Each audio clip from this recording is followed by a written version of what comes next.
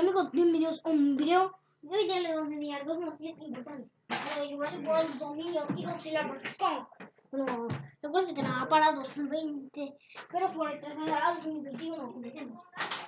Empezamos con Jurassic World Dominion. Que bueno, que bueno, como todos ya saben, ya, ya saben, Star Wars, los que crearon Star Wars Jurassic World Dominion del nuevo híbrido que aparecerá ya como no dieron su nombre, porque lo único que dijeron es que habrá un nuevo híbrido en Jurassic World Dominion.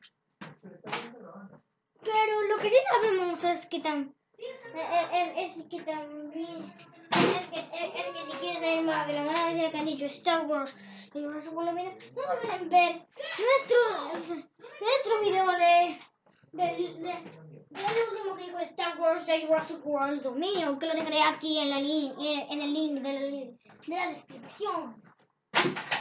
Star Wars de lo que dijo de Jurassic World Dominion, como tú sabes, es que un nuevo híbrido, el cual no sabemos su nombre, ya que tenemos bastantes híbridos, el cual podría ser el Omega 09 o el Ultimasaurus, ya que esos dos son los únicos que podrían ser los híbridos. Bueno, ya que el, bueno, ya que el Omega 09 es otro, es uno de los dinosaurios híbridos que no se conoce tanto.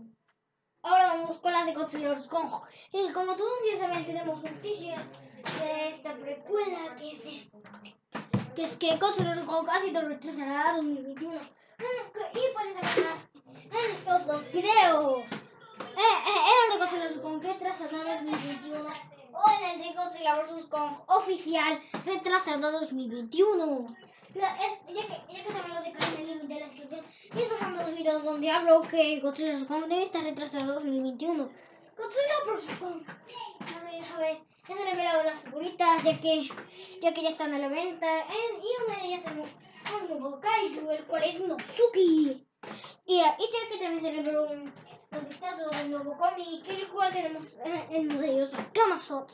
Ya que ya se reveló su vistazo el cual como todavía saben, el, el, el Camelot pudiera ser destruido por Kong.